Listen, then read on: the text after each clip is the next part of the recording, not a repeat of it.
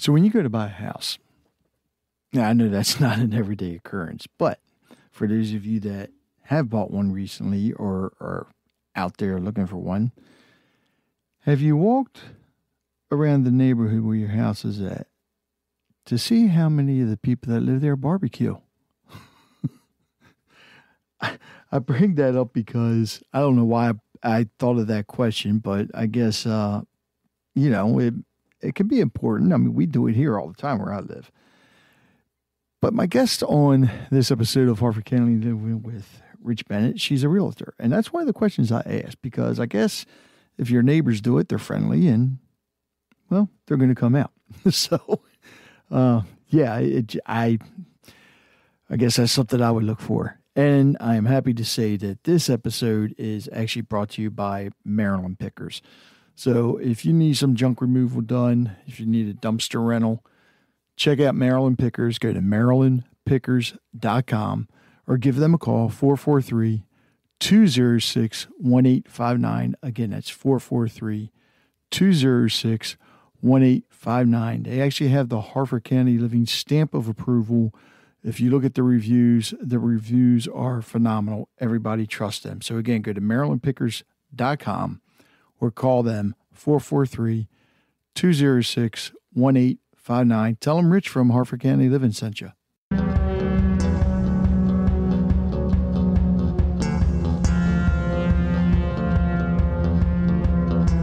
Welcome to the award winning podcast, Harford County Living with Rich Bennett, coming to you from the Freedom Federal Credit Union studios. Each week, you'll hear interesting interviews, commentary, discussions, storytelling, and more. Here's your host, Marine Corps veteran, professional DJ, entrepreneur, podcaster, and my father, Rich Bennett.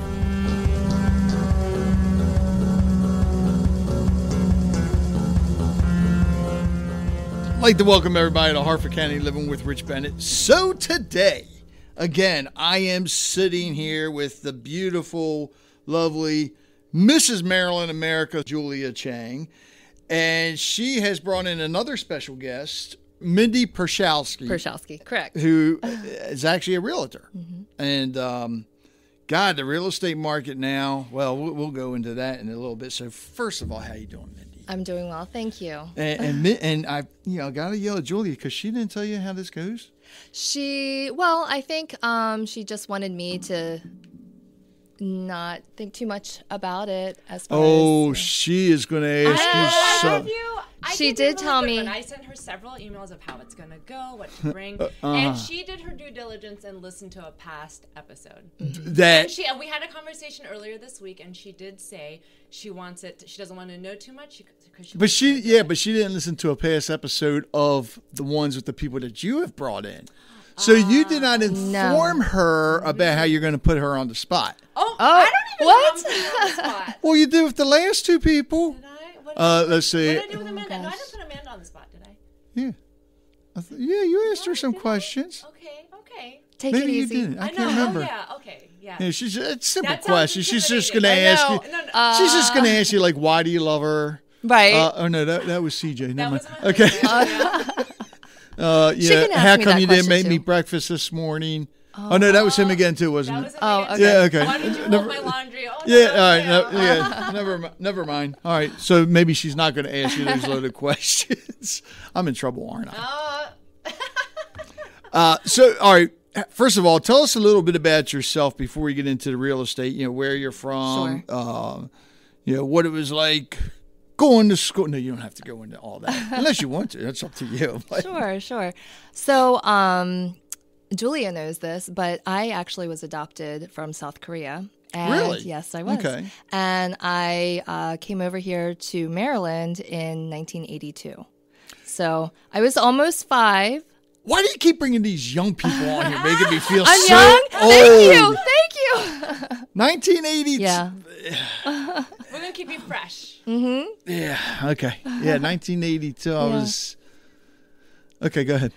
so um, I grew up in the Towson Parkville area. oh, I'm Um, sorry. I No, know- I'm, I'm no, messing with you. It's my a good parents area. are still there. Um, and I met my husband actually when I was in high school, and he went to Calvert Hall. He was a city boy. that- Go Yeah, Cardinals. uh-huh. And then um, from there, we lived temporarily for a short period of time in Baltimore City and then moved to Perry Hall, where we purchased our first home in the early 2000s. And we've been Bel Air residents for the past almost four years. So your son, uh, your son, your husband graduated from Calvert Hall. Mm-hmm. He did in 1997. 90. Did he Mm-hmm. play any sports there? He swam, Okay. Um, but mostly he studied taekwondo. He actually, uh, Julia's husband, his uh, father was my husband's grandmaster. All right. You know what? Yeah. You keep bringing Long these people in that story. are studying. Long I'm a- history. all right. What's what's the plan? Am, I, you're all going to corner me one day or something like that. We won't. We'll protect you. Uh, okay, I like that. Even Yes, you better. will be Yeah, 'cause very these well bones are very brittle, you know. So, well, um, she's holding out, but she's a she's a black belt too. I'm a first degree. all right, I need to start. I'm going to have And, to start and, bringing. and this- our children also study. Well, we have ninja children. Yeah, we do. Holy cow! My husband's master master Joe. He's a sixth degree black belt. Yeah, Your husband. Mm-hmm. he is. All right, Julie, I'm going to let you take the We show feel over. very I- I safe, don't I know. yeah. You're so well. Next protected. question, Julia. You're so well protected. Wow. Uh. um, God, I wish I would have kept up with all that. So, your husband, does he do the turkey bowl every year? We have not been in many years, and I've been to a handful. Okay. Um, but that would be fun if maybe he takes our son there. Do you know what the turkey bowl is? No, I was just gonna okay. ask, a football game. Yes, Yeah, okay. because Yes. it's it, it's been a rivalry since day one. It's Loyola and Calvert Hall, Okay. and every Thanksgiving Mm-hmm. is the Turkey Bowl, which I think they play at Raven Stadium now, Oh or at yeah. least they have oh, it. Yeah. that's big. Oh, and it they let me tell you, they get a big crowd because my my brother is a Calvert Hall grad and goes every year. oh, At least I believe he does. He may not have gone last year. Did no, he has to go. Okay. it's on Thanksgiving Day. I believe so. It yeah. is. I It think it is? is. Yeah. Oh, Yeah, it is. It's um, but yeah, the, the crash. So I always, anytime I hear that somebody went to Calvert Hall, of course I got a rag. It's like, yeah, go Dons.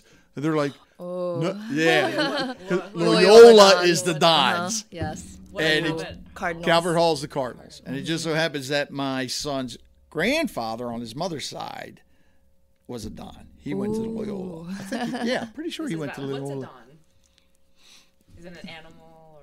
What is the Don? I don't know. The only time I hear Uh, Don, I don't any, Google it. anytime I hear Don, I'm thinking of. Italian. I You know. know, the Italian Oh yeah, families. the Bon- We only I know know. who we need to I know. which are the yeah, I don't think you're going to see. You're gonna, look. She gonna look it up. She's gonna try. Dons?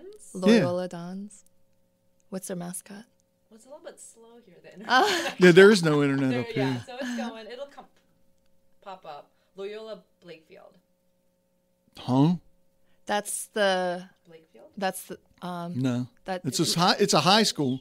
It's a Catholic Loyola high school. Blakefield in Tau- Towson. I don't know. I would call my popping brother and ask him, but he's working. He'll yell. He's like, Alright. "Why are you worried about the Dons? We don't need to talk about don't them." Oh, to I about- know. okay. no. So, all right. So, all right. So, you and your husband got married. How'd you get into real estate? I mean, were you always doing real estate at high school and I everything? no, I got into real estate when I was planning my wedding.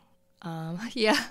So I worked at. Um, are you? You know, you've been to a Chili's before. Oh yeah. Okay. So for many years, I was a corporate trainer uh, for Chili's in White Marsh. Oh wow. And I opened up new restaurants um, across the U.S.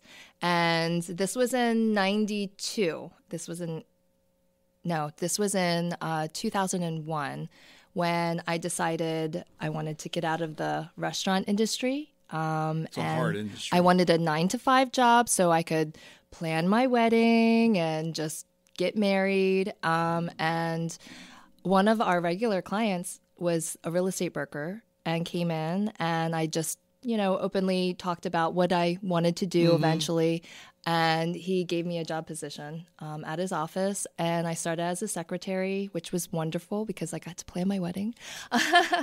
And then um, i slowly started to do other office work um, administrative uh, their advertising because back in the day we used to do paper advertising for all of the upcoming properties Right. um, and i also did the wasn't really bookkeeping um, and then after doing that for a few months i told myself i can do this i'm Hmm. going to get my real estate license and that's exactly what i did i took a two week accelerated program got my real estate license, got married, and when I had my license, I already had my new married name. So I didn't have to go with the whole Change changing of the name. around. And I had a difficult last name. Originally, it was Peugeot, P I G O T T. P-I-G-G-O. I was gonna say, what's so difficult Like a well, a lot easier than your would name say now. Peugeot, Pigot, your husband to change his Pigot. I know. Oh no. um, so I kept my last initial, so that was Well, that, yeah, that, yeah. Uh-huh. that makes yeah. So you, all your cards could have just said Mindy P, and you still be fine. And I and I still joke to this day. I'm like, well, maybe I could just you know change it um, because you have it licensed through the state. And so I've thought about. I wonder if I can just shorten it. But you know, people have known to know me Mm-hmm. um, as Mindy, and I'm totally okay with that. Um, so if real, the, the with real estate license, do you have to renew it every year? every two years, Every two you have to renew Okay. your license. You have to take continuing education classes. Wow. You have to be in good standing. Um, and that's all you need. And you need to be affiliated with a, a practicing brokerage in whatever state you're licensed in. Um, and that's what I do. I take my continuing education classes. And since COVID, I I was um, a pref- I preferred to go in person for classes, but it's so convenient taking all my classes online Virtual, now. yeah. I know. at your own pace. You don't have to sit in, you know, 15 hour sessions. Um, so it's Fifteen it's hours. 15 hours to continue your education. Yeah. A fifteen. One session is fifteen hours. Well, you can go. Um, the fun thing we used to do was the Maryland State Convention, um, where we would go to Ocean City, yeah. and it would be like a three day, maybe like two to three day um, session where you could pick and choose what classes you wanted to sign up for. Okay. And then, of course, all of the um, vendors and um, real estate brokerages, they would have their own parties. So So what year did you get into it? 2002. Two thousand and two. So you were in it when years. all that Yes. stuff went down. Uh-huh. Oh boy. Yes. How so it was a whole was roller that? coaster. and Y- It was a roller coaster. Um, I, I survived. I managed. Um, I Well, was very that's good. fortunate when I obtained my real estate license. I immediately had um, friends that w- were in the market to buy a home. Right. So since then, I've assisted those same people maybe on their second, third, fourth purchases already through the years. So you're helping people not just buy a new home but also sell, Sell, mhm. which I'm And sure selling wise is probably up more than anything. It right However, when they go to sell, unless they're relocating out of state, Mm-hmm. it's hard finding them a home. Really? Mm-hmm. All the homes for sale? I mean, it seems like every time you turn around, there's. Why is it so hard to find them a home? Well, because a lot Oh, of of times the they're up, they're upgrading, or Oh, yeah, or they're relocating to a different area. And since there's so many more buyers, they're up against a lot of additional competition. Ah, and when you have a home that you need to sell, oftentimes they're contingent on having to sell their home Right. in order to use the, their equity to go towards their down payment. So, Ari, because obviously we don't want to go fall into the same trap that we did Right, years ago. correct. But how is, I'm seeing homes that are going for fifty, some even a hundred thousand more Mm-hmm. than what they're worth. How in the world is that happening? The biggest difference between now and when the market did really crash Uh-huh. um, is the fact that the buyers that are purchasing above list price or um, putting so much extra money down is because of that fact that they have that equity from a previous purchase or they're saving So they're to be able the- yes Okay, instead so the banks aren't financing, no, that different. no Uh-huh. Okay. the banks have become a lot more um, strict Right. um, in making Which sure that they're protecting the consumers because they don't want that same situation to occur. And then the buyers are just more financially secure to be able to Okay. make that investment. That's that's good to know Mm-hmm. because I mean I'm seeing some of these houses is like, and they're Yeah. going like And, that. and believe me, I have buyers in the same situation where multiple offers, one after another, and just not getting in. They're above list price or Yeah. they're really um, tactful with what their negotiations are, Mm-hmm. um, and they're still not getting it. Because at the end of the day, the sellers want the highest and best, they want the easiest Right. contract that's going to get them to closing.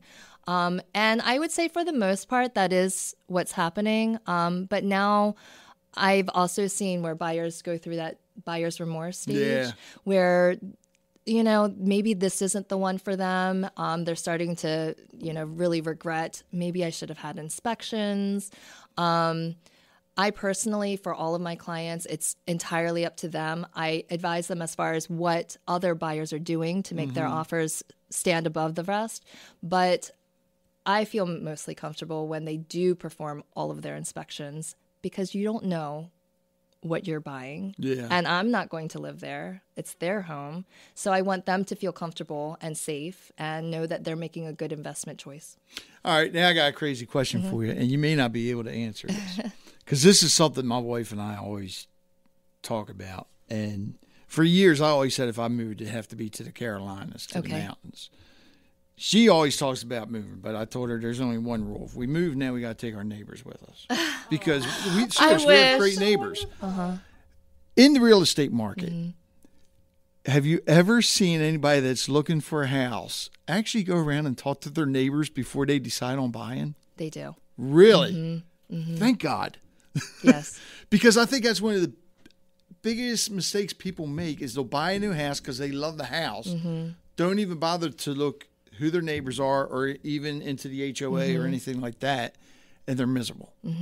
oftentimes when I'm showing properties, um, if there's a neighbor outside, I'll Mm-hmm. approach the neighbor and I'll just engage in a, you know, just a friendly conversation. And that allows my client to then ask questions about the community, um, how long they've lived there. And it gives them a good vibe and feel of the area. Um, and my other suggestion I give to my buyers is just do random drive throughs. Um, Right. Doesn't have to be a morning time. Just go through in the evening, go through during On the a weekends. weekend. Exactly. Nowadays, they can't, they don't have time to do that Yeah. because the home, as soon as it's listed, it's gone. Um, but I do have very diligent buyers that as soon as it's on the coming soon status, they will do their research and they'll do their drive throughs. Tell them not to do their I research know, by I looking know. at social media. I know exactly. Oh, they do. My clients Oh, do. God. They'll look up social media and they're like, "Oh, so and so." I That is a thing. I know everything I about their know. business. Even HR, my friends Well- in HR, Mm-hmm. they look up. They're like, be careful. Like social media is is it's out there. an avenue Mm-hmm. where people can get, you know, like a window look into your life, Mm-hmm.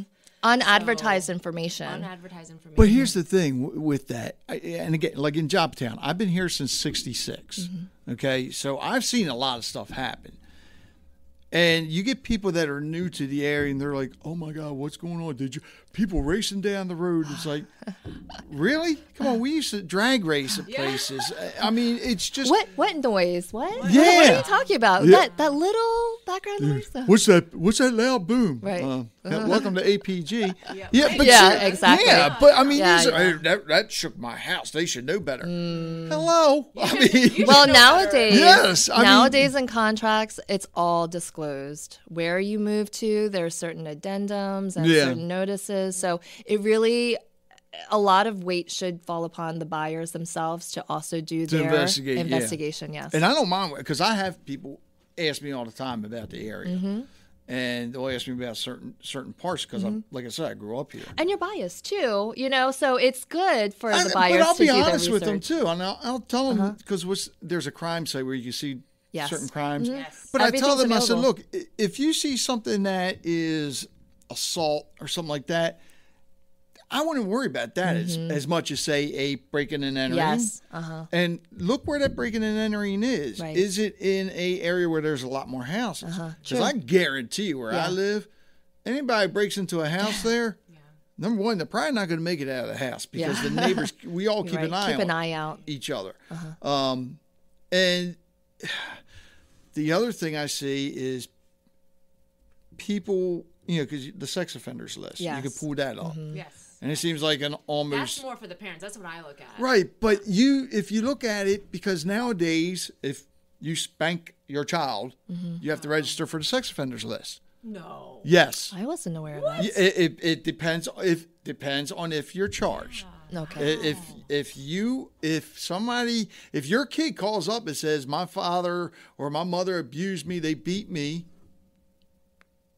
right away. That's you know, so it, it's it's kind of Yeah. It, gotta know, it's like, iffy, yeah. Yeah. But you see that, and I've I only say that because I've seen that happen with a couple friends of mine Wow. and Oh they goodness. yeah but where they're the mother and father weren't together and where the father had he was old school like me you know your kid does something wrong yeah. That's, you get spanked and um but they, they they were separated and the mother had pressed charges and everything and said yeah he's been beating my child. So what? Um, because it is in the standard Maryland Association of Realtors contract is to take a look at the Maryland Sexual Offenders Registry, um, and I even before I get my client to fall in love with the home, I have them do that first because I don't want them to fall in love with the home and then by the way Right. you know so the process in that I, I i like to educate my clients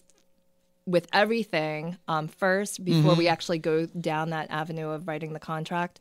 Um, and they'll tell me, you know, and they'll look, and then I just do a little, you know, reminder that they might, you know, you might find somebody, and then you have to look at where they are in comparison to where your subject property Right. is, and they may not stay there forever, or you might buy a home and there's none registered around you, and then the next day you Yeah. have one registered. Exactly. So I mean, it's constantly um, changing, and it's just more of an awareness for buyers. And I think a lot of it too is even if with somebody that's been living there for a while, somebody new moves in, and vice versa, communication. The Mm-hmm. Neighbors need to Yes. Mm-hmm. talk because you know if number one, if you do live next door to a sex offender, a murderer, whatever, serial killer, who knows, uh, talk to them because the more you know about that person, exactly. the better, Mm-hmm. right? And you can either, you know, like they can call you and Julia to, you know, come there and protect them. Uh, bring your husband, say, Mm-hmm. Yeah. look, it's- yeah, yeah. but The seriously, a lot thing- of people don't talk, don't Mm-hmm. think about that, and they need to. And I know um, there's a lot of areas that don't necessarily have homeowners associations, Right. mandatory ones, but they have voluntary ones.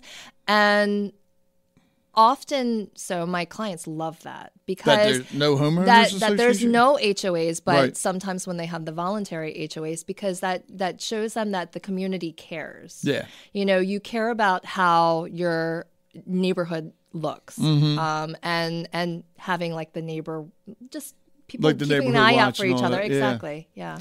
Yeah, and I think I mean there's a lot of on. I do see like where I live, we don't have a homeowners association, but all the neighbors do watch. Right. it out. You know, because at- you are your own Yeah, association, your, exactly. your own community. Um, and then the funny thing is, then you got the ones homeowners associations that are ran by management companies that aren't even in the state. yeah.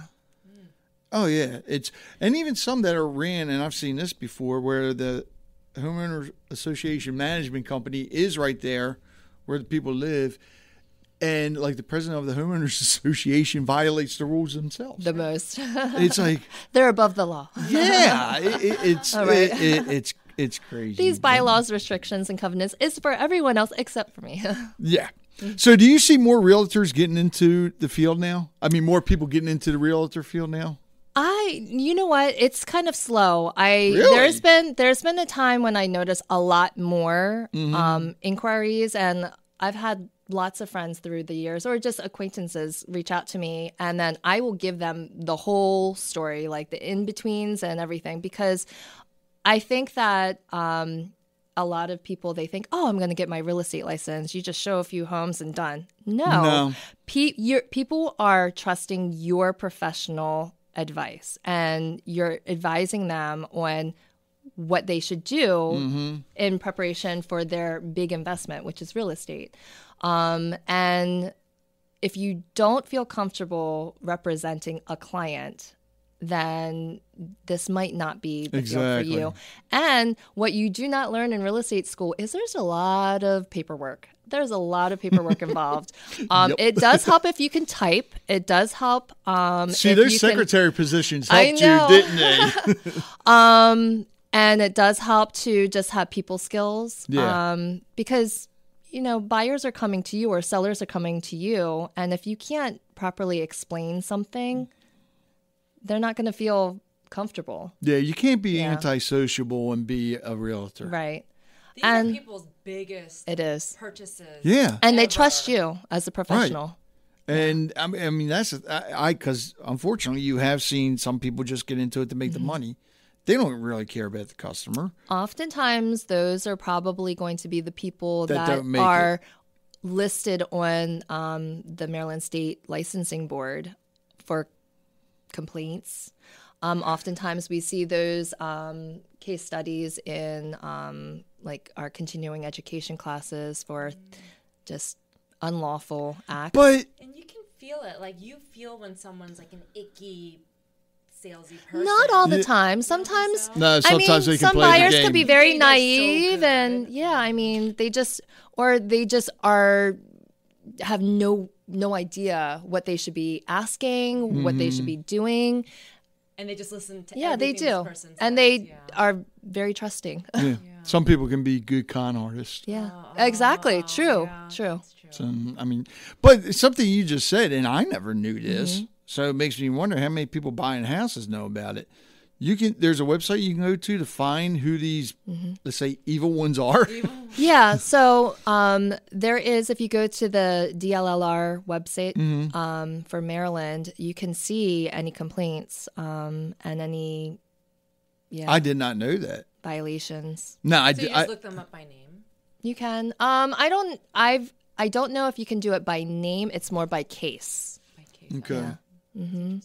But should- I- God, oftentimes, I, should think the most common one would probably be they didn't um, properly handle uh, earnest money deposit Mm-hmm. on a home. Yeah, yeah, yeah. So go ahead and write that check out to me directly, Right. and then deposit that into my personal account versus deposit it into a escrow company or the brokerage. Right.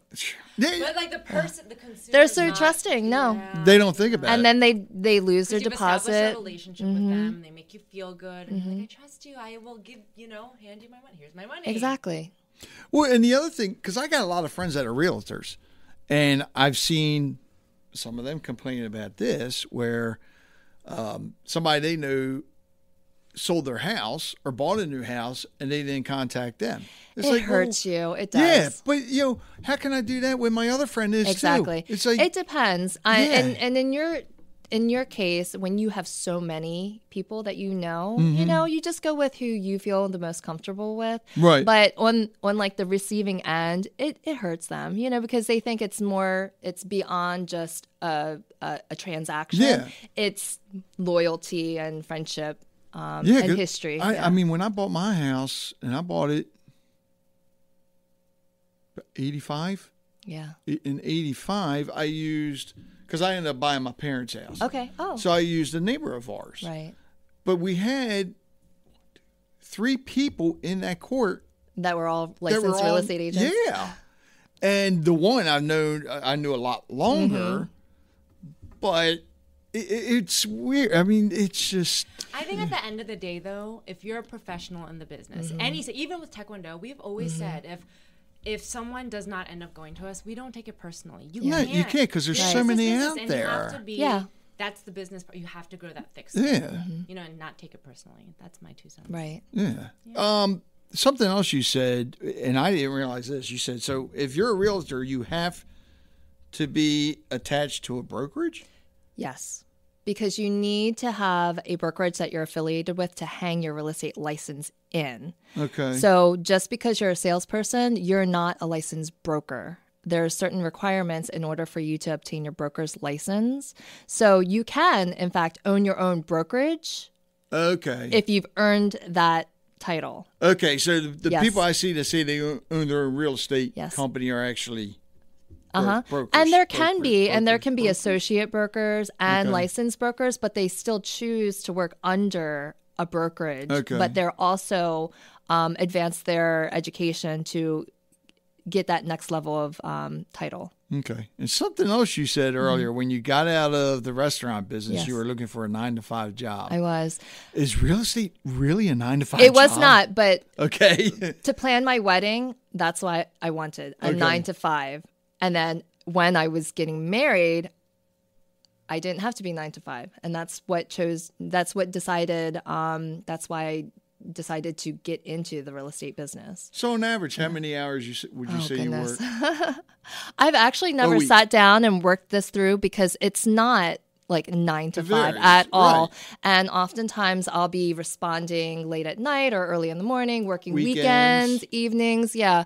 Um, definitely at least 40 hours. Um, Okay. But it's not like a solid, consistent 40 hours where I'm just tired. Um, Right. You just go with the flow. You Yeah. know, it's, real estate market, you know, It it's a roller five coaster. hours one It day, is. three hours you just go next, with the flow. following. Um, it- it- it really does. Uh-huh. Yeah. So on average, I would say 40 to 60 hours a week. Okay. Mm-hmm.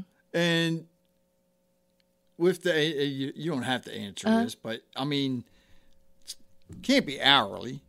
No, salary, it's or is entirely commission, commission? based. Straight commission based. based. Okay. Yes.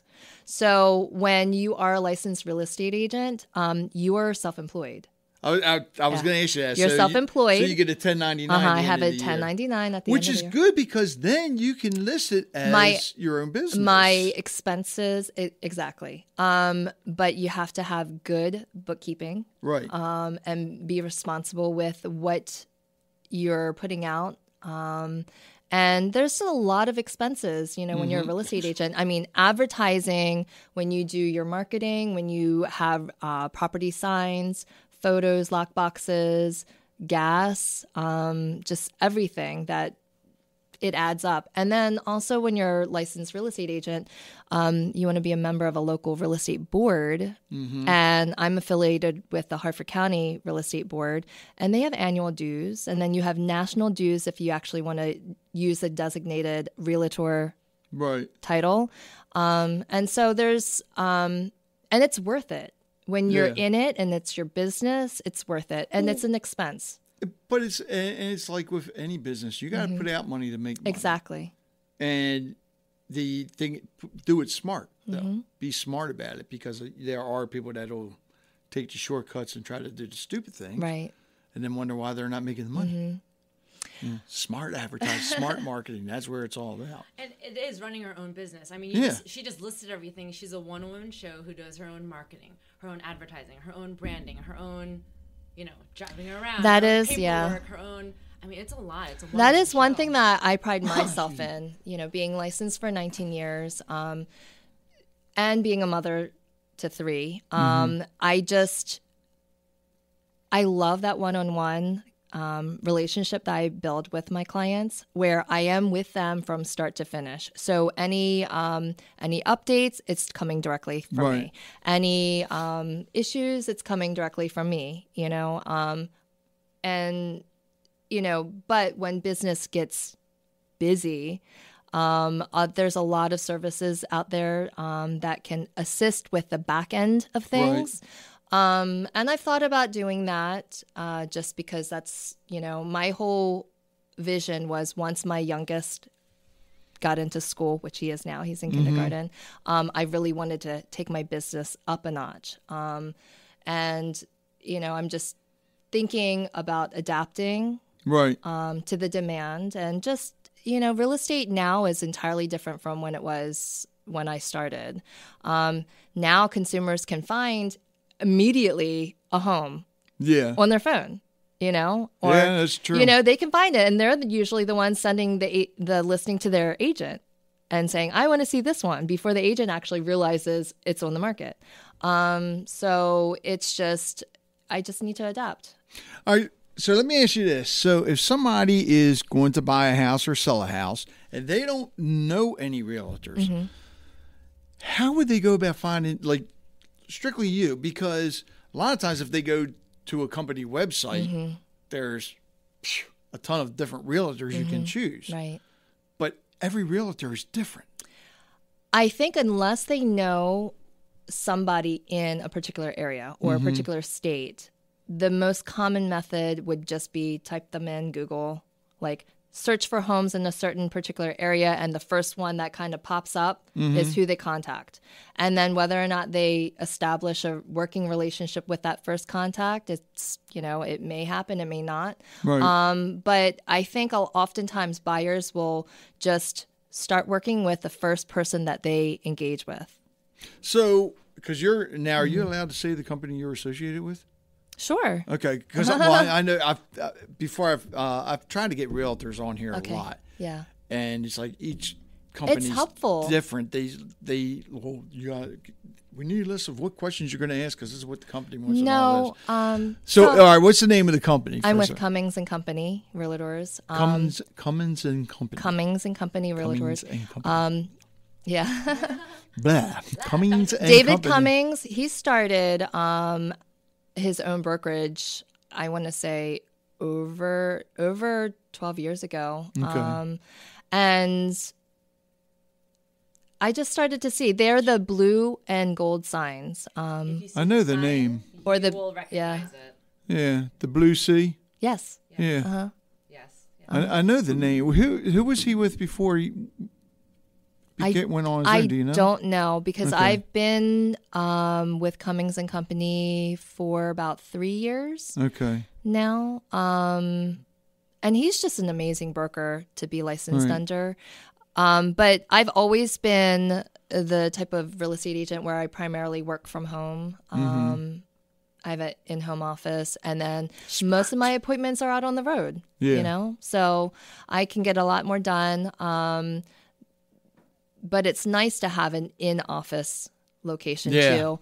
Um, but our our brokerage is very um, it- it's we have many offices throughout the state of Maryland. So if I ever need to meet a client to can go over go a to one of contract or conduct a closing, I can go to any of those Right. offices. Mhm. Which is good. So with that uh, being uh, Cummings and Company, and I'm sure you have your own website as well, right? I do. Okay, so and not just Cummings and Company, but any real estate company, brokerage, whatever. Since you do your own advertising, you're traveling and all that, do they reimburse you for anything, or is that something It's a business. you have to know your mm-hmm. taxes or how mm-hmm. to do your Yes. taxes, or mm-hmm. at least use a good You should have person. a CPA. Yes. right Yeah. CPA? Thank you, God. I think of the man. I, I, Right. I'm drawing a bl- I'm drawing a blank here. Yeah, Right. The tax person, the tax man. tax person. Yeah, yeah. Call the tax man. All right, Julie, I'm going to allow you to take over here for a little bit now. Okay, so um, th- something that wasn't discussed that I do want to highlight is that What What do you love her about her? No, I'm sorry. Yeah, Everything. No. she has a very good. She's a great cook. She's a great baker. That's something we did not hit, so I want to talk about that. Oh, She so yeah. Here we go with the food again.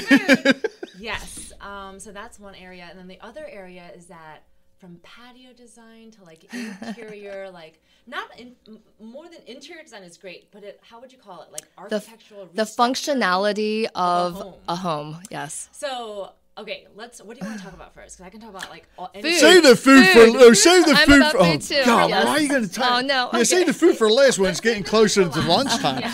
So we'll go with um, the design part. So first, um, patio. We basically we have like a few a few people who just like copied her patio design, us included. We basically went to their house and was like, yeah, uh, we just want this. The Mindy, the Mindy plan. I must say, CJ did do, you know, planning too. I have to give my hu- husband some credit. He did really well. You did really well, honey. Um, but like the stone, a lot of it was um, the conception of inspired yes. from her patio. So she's really good at like looking at a space and saying, "Well, I picture the kids running here, and let's have this." Or when guests come over, you know, we're gonna add this part. Maybe do you have a picture? So you designed it?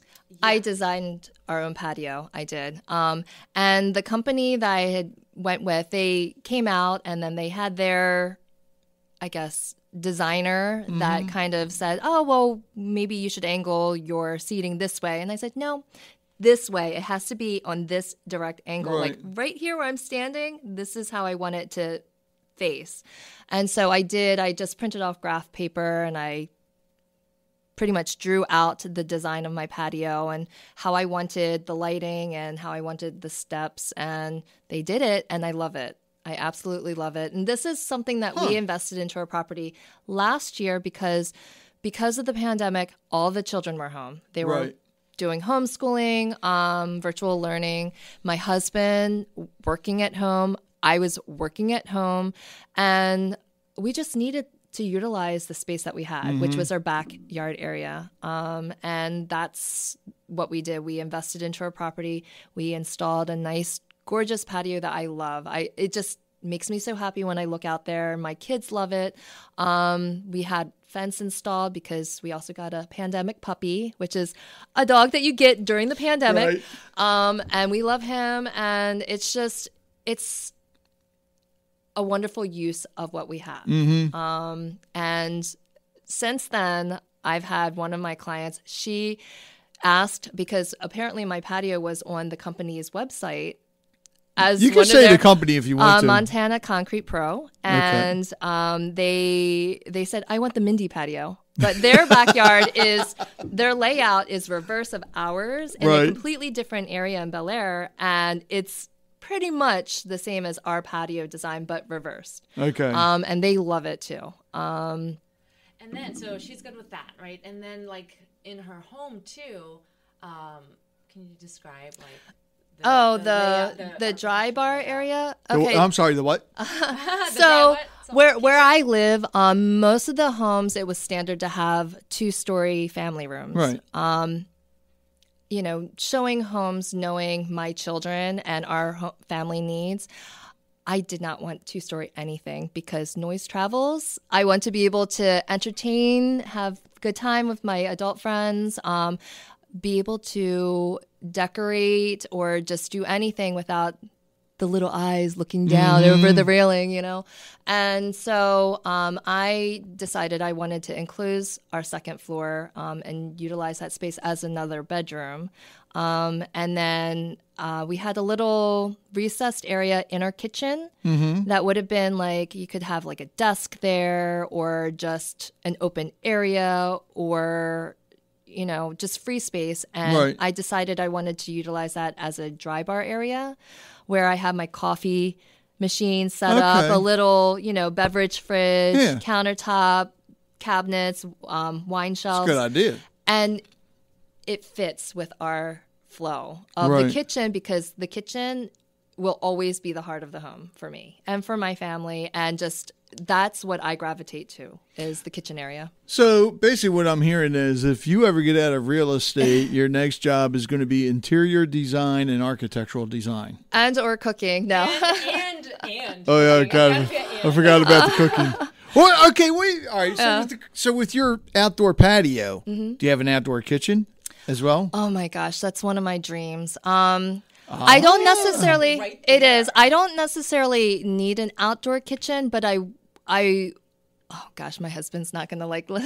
Uh, g- okay. So I've been on him. I'm like, we need a grill. We need a grill. Where we lived before in Perry Hall, I cooked on our outdoor grill probably nine months out of the year. Wait a minute. Was it a real grill or an was just outdoor a, oven? a char. No, just um like a gas propane. okay, so it's an outdoor grill. oven. Outdoor, yeah, yeah. That's, that's not a grill. But still, like I know, but we did have the charcoal um, grill. But Yeah. that just took too long for me. You're doing it wrong. I know. So every now and then we Oh, do. he- yes, we have used that. The reason Remember? why he's saying this, I have to explain. I saw a picture of him in his backyard. He has lit literally six grills, Seven. Seven, okay. Because they all have their own purpose. and they Yeah. and Yeah. they are lined up like you have rows. Yeah. And I still need more. So he's like a grill master. oh, But all, there's everything, nothing. I appreciate. charcoal I with the appreciate exception that, right? Uh-huh. of the Blackstone. That's propane because it's kind of hard to have a. Yes. But and, and I will be honest. Is I, it Blackstone? Is that like That's a the griddle. top? Yeah. Oh, gosh. Yeah. You could. I don't know what that is. It's It's, a- flat, it's a like griddle. the- It's It's a- like it's just, just a like griddle. A flat Like top. a hibachi grill. No. Well, yeah, similar, similar where it's flat, but you can cook anything. Oh yeah, we Like, yeah, and it's actually not Think mine. about It belongs the to the massive Lions amount Club. of pancakes, Pancakes like and sausages. Oh, yeah. sausages. We got it. It, it, Meat? it belongs to the Lions Meats? Club. We got it Yeah. strictly for like our breakfast of, Sa- breakfast of Santa Oh, to do all the pancakes, bacon, and all. It's 36 inches. There you can fit a lot. on it. Amazing. But no, my I other would stuff love is to have the one of those. smoker, mm-hmm. and I have the two you have Webers and all. But no, that, and the only Mm-hmm. So- reason is it's easy. Just take get the chimney, Yes. put the charcoal in. Within 15 minutes, my charcoal's ready to go. So I've been eyeing up. Uh, now, do you have the ones that have the pellets? Do you use pellets? Well, I used to say that Okay. because I always wanted a Traeger, Okay. and then my buddy got one. Okay. Pellets are expensive, Yeah. and I forget how many bags he went through Just when- to to season it or whatever. And um, it's great that you can go out there. that's good Hit to the know. start button. because I think that's what my husband was looking. Well, into. tell him to look Okay. at the Masterbuilt. Okay. Because why do we always have to talk food? Anyway, It's okay. We always end up talking food. So uh, my brother, because I've always gotten on my brother because he has an outdoor oven Uh-huh. Okay. too, you know, gas grill, and I always told him, I say, Sean, you have to get a real grill. Right. So he calls me one day. He's at Lowe's or Home Depot, one or the other. I can't think of it. And he's like, "Hey, man," he said, "What do you know about this Masterbuilt?" I said, "Masterbuilt what?" He said, "It's a smoker." I said, "Okay." I said, "Charcoal?" He said, "Oh, it's got a hopper on the side." I said, "Oh, it's a pellet one." No. I was like, "Give me the model." So I pulled it up Right. real quick, and I'm looking. I said, "Man, this thing is nice." Okay. So I'm shying away from the Traeger now. I'm looking into this Master Okay. Built because it takes. So it's got the hopper like the Traeger, Right. But you can use hard lump charcoal, Oh. or, briquettes, or even wood. I like that. Yeah. So you're like getting that. that. tr- you know, I think I think real wood gives you a true smoke Yeah. flavor better than the pellets do. Like Um, the, the hickory and Yeah, like but I it, I told my wife if I get that, that's something where, you know, if because she told me the other day I need to get a gas grill. It's like no. She said, "Well, you need to grill more, especially for just you know, you know, for the three of us." It's like, eh, okay, because I'm the type to where, uh, like Halloween's coming up Yeah. for us, so we're we're already talking. We're going to start at twelve o'clock in the afternoon. Me and my friends, and we're just going to sit back there. We're going to smoke stuff. We're going to grill stuff, and then come trick or treating time. Right. The only thing that's going out front is grilled chicken right. Okay. because we're going to be eating everything. Right. Else. But we do. We we just all of us get together and just food it's Yes. food that's what it just brings everyone together and when i think of um like i love anything social but it has to have food and Yeah. even my Oh, neighbors yeah. have come to know me where they're like oh well you know mindy mindy's it's not just gonna be cheese and crackers it's gonna be like I'm the same everything in between and it's not it's just that's what makes me happy Yeah. like feeding people and i love and appreciate food so much that it just why not i share it so you're always trying different things too. i i i do i do all right, um, and okay. i enjoy it right This is going to be fun now. I'm. Oh yeah. You too. So, all right. What's so? Do you like to make different recipes of stuff that people haven't tried? Such as give me All right. For example, like the other week, I made a. And don't laugh at Okay, me. okay. A bacon bourbon pumpkin pie.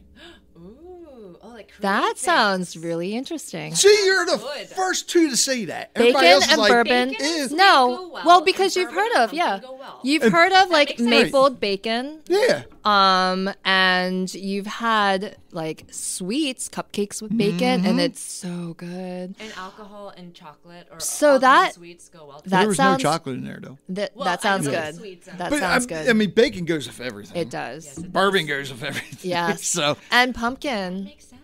Yeah, it, but job. It sounds like a everybody- the guy- good We did it for beer night, and the guys tore into it. The only thing is, you know, because of pumpkin You know pie, what after else you would cook taste it, good you're on supposed to that? put it in the fridge. pecans Yeah. Well, the recipe I Candied saw, they put pecans on cheese on top. top. It's like, Hmm. eh, yeah, I didn't do the cheese. Same as I, I've, I've never actually had apple pie with Ice cream. with- cheese. I've I seen heard apple- about. Yes, somebody told me that the other day. Well, I've eaten apples with cheddar cheese and it's I've- delicious. really? Yes, I've you never slice done the that. apples with Apples and a cheese? Oh my gosh, it's I've had good. apples and cheese, apple, apples and butter. Like Yeah. I've had butter. apples and And- chocolate and apples and And peanut apples butter, and but no, but apples and cheddar cheese. Cheddar cheese, not Okay. American cheese, not Colby Jack. American uh, cheddar cheese, sharp cheddar cheese with apples.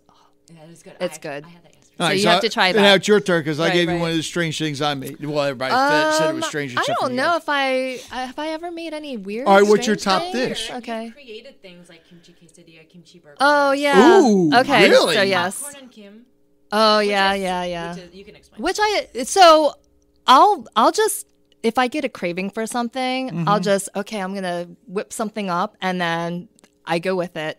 And um like sometimes I'll Google it and be like, has this ever been created? Or or if I like something You need to start a YouTube yeah. channel. Or if. I or if I eat something or I see a recipe for something, I'm like, how can this be elevated? Or Right. how can it just have a little bit extra? I look at it and I'm Um, how can I smoke this? oh That- seriously, that's what I do. You would get along great with my next door neighbor. He's like he smokes really fantastic ribs, really great ribs. And I actually got him hooked on um he and his wife, I got them hooked on Korean food.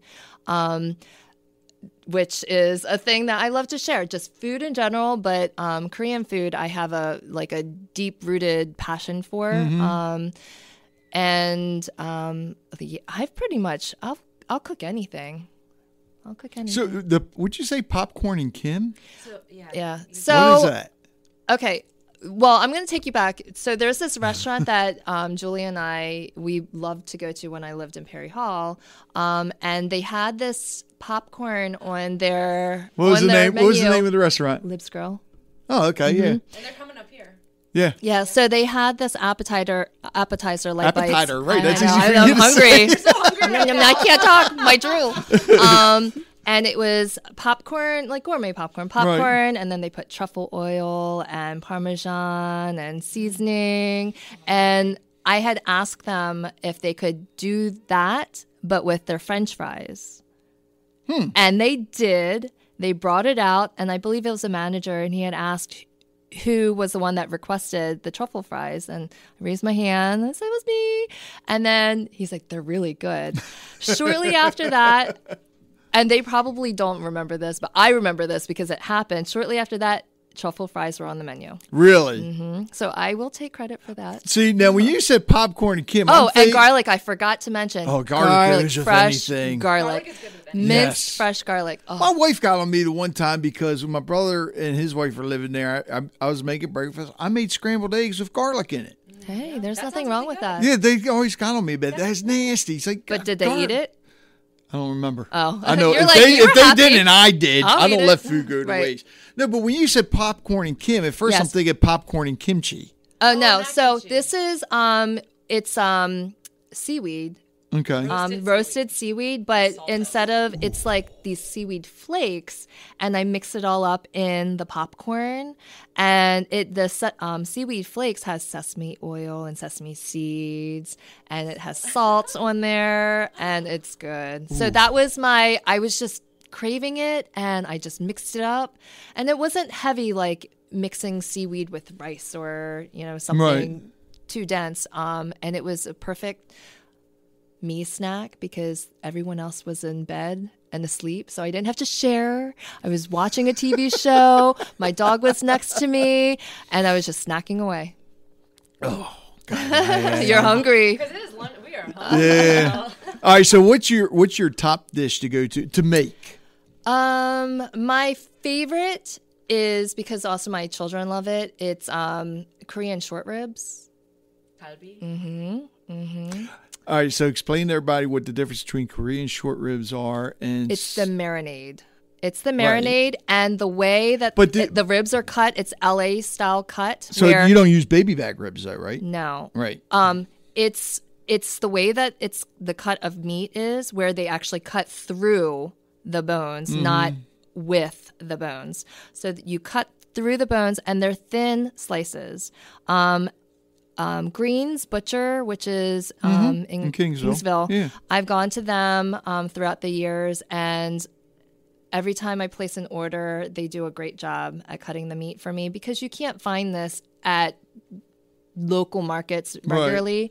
Um, so And it's unless I want to right? You're using the drive, pork it's ribs? beef. It is. Oh, it is beef is ribs. beef ribs. Okay. Yes, but it's the Korean marinade that it just makes it. So what, And it's the whole social again, food is that social um enjoyment where it's a process. Mm-hmm. You know, you have um the process of cooking the meat, cutting the meat, building the meat onto like um, seaweed or lettuce or anything, or just eat it plain.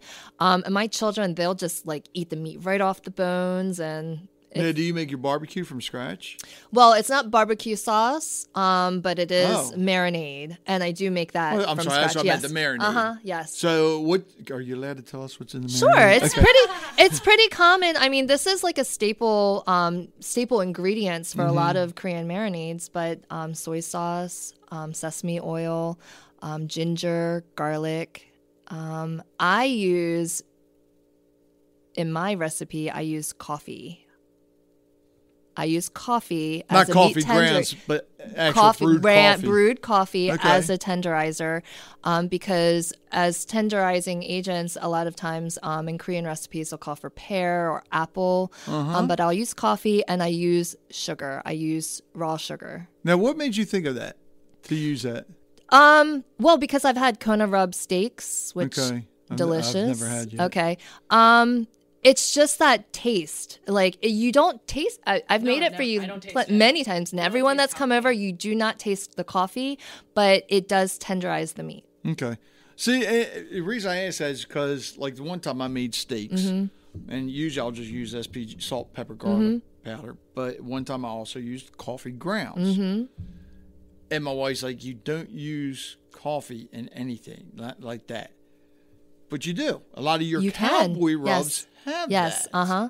And It's but, brewed coffee. you need I- it, but you need man. it, but you. I think when if you're gonna add it in something like that, it needs to be super finely. Oh, yeah, yeah, yes, yeah. Yes. Oh, yeah. Because if you now you have to try go to a steakhouse if they have Kona rub, um, Kona beans. Um, that that's one of my husband's favorite steaks is a Kona rub steak.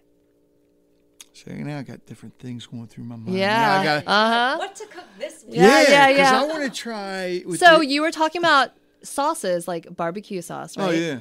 That is on my to-do list. Is I want to make my own barbecue sauce. Um, I love. Oh, oh, I know. Right now, he's so my thing is, it has to have heat, but not too much. Not heat. too much, right? And I a little love bit of a sweet. Mm-hmm. little bit of sweet. You have a Yes. recipe, don't you? Uh huh. Huh? You have a recipe to Do share, you? you? Does your Does your husband smoke cigars? He does. He does. He does. Tell him to try uh, to make a cigar ash barbecue sauce. Okay. Wait, cigar, ash. Cigar Yes. Barbecue yes. sauce. The actual. Ash Yes. in the barbecue sauce. Yes. Trust me, you'll be blown away. Okay. I, I know. I'm And like you could. There's all kinds of recipes you Okay. can find for it, but yeah, cigar, cigar ash. barbecue. yeah. Because I always, I mean, I always make my own barbecue Right. sauce too. Unfor- I don't smoke cigars as much, Mm-hmm. so I'll make it every, maybe every few years. But, But when nothing It, goes to waste. no, but like for instance, the one year I decided to make, I saw a recipe for peanut butter and jelly ribs, Okay. And of course I, you know, I changed it a little bit. I didn't use jelly; I used orange marmalade, Okay. a little bit of chipotle sauce, Mm-hmm. and of course a little bit of bourbon. Right. Right. Right. But put that on the rib. I had five. This was Halloween. I had five racks of ribs. I got one rib. One single rib. One rib. That's all I got. They Your were guests gone devour them. Like that. No, serious. I mean, Let me get but the people sauce. will laugh at me, especially my wife. They'll be like, "That just sounds nasty. That's disgusting," and people devour it. I think the only thing that they didn't devour one year for Memorial Day, because my neighbors kept saying, "Well, yes and no." I was in a hurry, and my neighbors like, "Well, just do burgers." I said, "Okay." So I, I did the ground beef and everything, and if there's leftover beer or whatever, that's always good for that's what we call our cooking beer. Yeah. Or put out the fire in the grill beer. Right. Um, so I had this beer. It was nasty. I forget what it was. And I put that in with the ground beef. I think I went a little bit too heavy on the salt because, you know, I just. Okay. Actually, no, I didn't use salt. I used Montreal steak Okay. seasoning, Okay. which I went heavy on. And them burgers are nasty. They were nasty. but I learned my lesson. Right. Now everybody, my, my burgers I make now, the, the past few times I've made them, everybody loves them. They said they mm-hmm. want them again. So it's just regular ground beef, sweet Italian sausage, Okay. mix it together, salt, kosher salt, mm-hmm. pe- ground fresh ground pepper, and granulated garlic mm. and onion powder. And that's it. Done. And just don't I don't make them thick anymore. I used to. Uh-huh. I just roll up in the ball, throw it on the grill, smash it it down. down.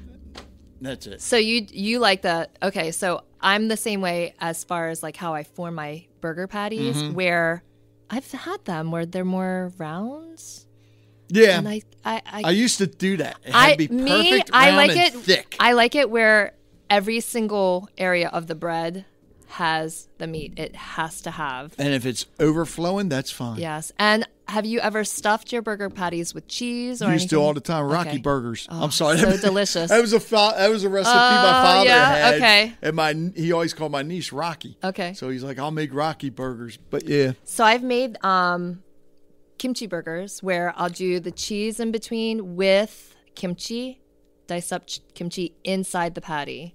So it cooks, and then you take that first bite, and everything just oozes out. It's All right. delicious.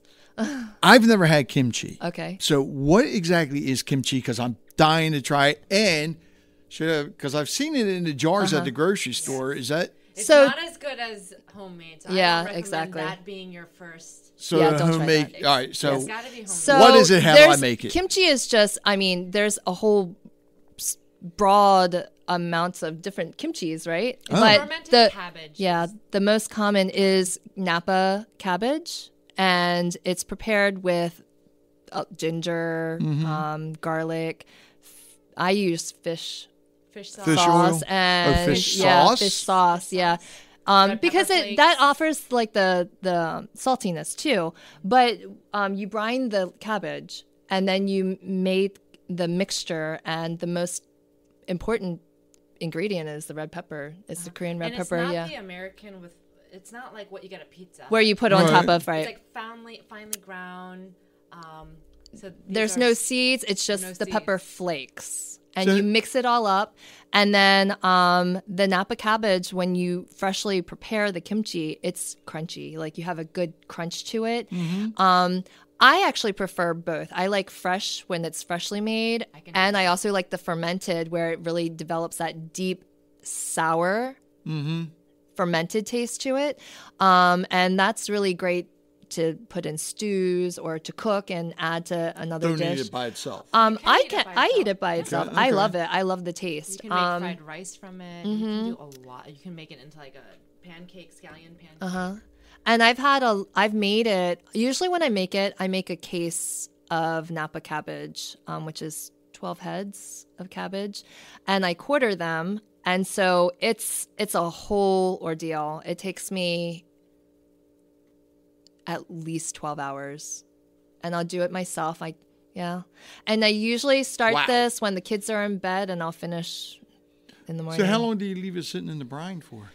I flip it. So every 30 minutes, I'll go ahead and rotate them.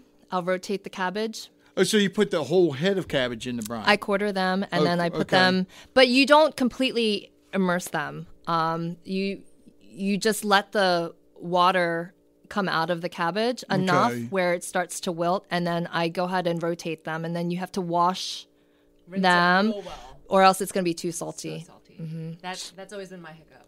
Yeah. So what do you eat kimchi with? everything. I Everything. eat- Rice. Really? oh gosh, pizza, spaghetti, eggs. Kimchi pizza. So last year during the pandemic, I um I Oh, had uh, asked there is my, such a thing. Yeah, in Korea, there's there's kimchi everything. Everything. Burger- Kimchi in burger, McDonald's, everything, You yeah. can find kimchi hamburgers. Uh-huh. What? Yeah. Get out of here. Yeah, yeah, in Korea. Oh, I was going. I thought In you meant Korea. In Korea, no. Okay. Korea. And Okay. um last Oh, year so during that's the not a new thing. If I decide to make kimchi burgers, I'm not doing anything new. For you, it is. Well, yeah, but I like to come up with stuff that nobody's had. Oh, well, ha- yeah. Well, how many of your friends have had? That's true. So it That would be, be so same as yeah, my neighbors. They've never had kimchi until I made it, and now they love it. Interesting. Uh huh. It's a love hate.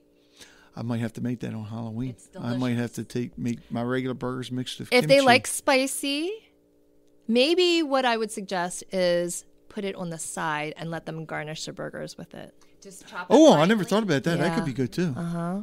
And then, I mean, you can put it on anything. Tacos. French fries. Julia had mentioned kim- kimchi quesadillas. Oh, yeah. All right, That's so good. all right, Officially, I, okay. So, because I'm going to the grocery store after this, Uh-huh. and, and I know that where I go to, they have it. So, if I get it in the jar, am I supposed to drain all the liquid? No. No. No. keep it. You can put Mm-hmm. that in like in the stew, or I put a little bit in the fried rice. Mm-hmm. Mm, you keep that. I don't really drink it. You should taste I it though, it. right out of the jar first, and it's Right. going to hit you. It's I've I actually have not had store bought kimchi, but if I had to guess what it tastes like, it's either going to taste diluted, um, like not have that that pungent Yeah, I don't think taste, it's gonna be the or it's going to be over the top sour. Right, yeah, like I Um, said, I'm just going to look up a recipe and make it myself. you can. Yeah, I'd rather do that. It's just Yeah. something with it's I don't know something that's sitting in a jar And you don't- for a while, kind of. But that's the but that is the Scares me. kimchi. I mean, they're they're made at factories, so they make Yeah. in bulk quantities. Um, but that is the fermentation process too. I mean, you can make kimchi and it can last years Mm. if it's properly stored. Um, and it just develops that deep, deep, you know, fermented flavor. But kimchi in itself, it's just a wonderful, healthy food. Julia, this is your fault that we talked about food again. We're all gonna go home and be like, no, no, no, no. Yeah. Uh, oh, I yeah, I definitely. Yeah, I got to eat a big lunch because I got a meeting tonight. So, tell everybody the website and how they can get in touch with you. Um, I my website is Mindy Moves M O V E S M D dot com. Um, I'm also on Facebook, which is also just Mindy Pirczhalski, um, Maryland Realtor, and um, you can email me Mindy Moves MD at gmail.com as well. And the your Facebook page is on your website as well. It is. Okay, so people mm-hmm. can get to it. Mindy, thank you so much. Thank you for having me. So Julia, nice meeting you. thank you. Thank you, Julia.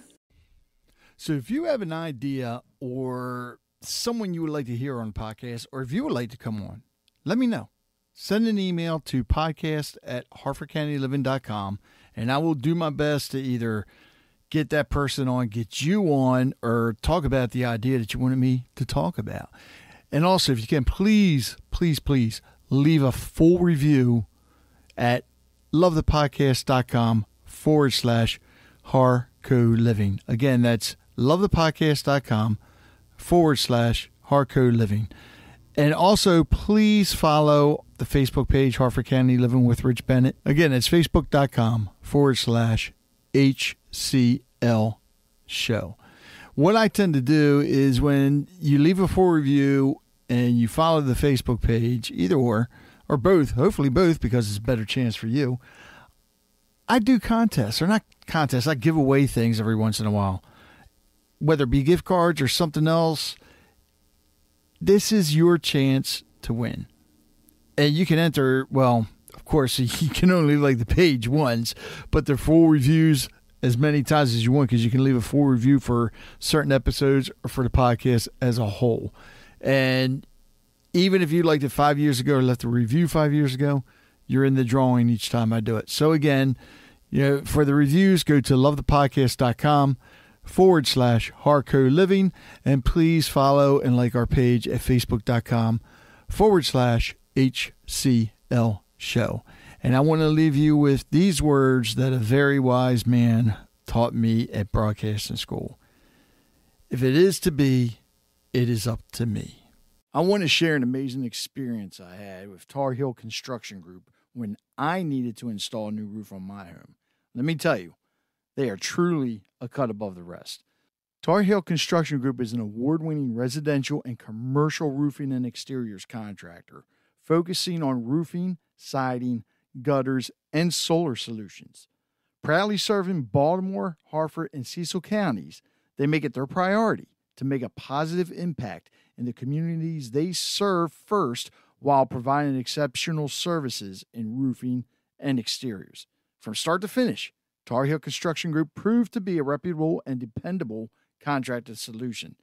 Their quality installations and good communication kept me informed and reassured throughout the entire process. It's no wonder they have been voted Harford's best roofing contractor and best home improvement contractor for three years running. But here's what really impressed me Tar Heel Construction Group's commitment to continued service and registered warranties. They stand behind their work, ensuring that I have peace of mind for years to come. What's even more remarkable is their dedication to giving back to the community. They aggressively support and uplift the neighborhoods they serve, making a positive difference in people's lives. I feel incredibly grateful and humbled to have chosen Tar Heel Construction Group for my roof. They have earned my trust and respect for being the only contractor to be voted Harford's best roofing contractor and Baltimore's best roofing contractor in the same year. So if you're looking for top notch roofing and exterior solutions, look no further than Tar Heel Construction Group. Visit their website at tarheelconstructiongroup.com or give them a call at 410 638 7021. Again, that's 410 638 7021. Experience the excellence and community impact for yourself. Tar Heel Construction Group, building excellence one roof at a time.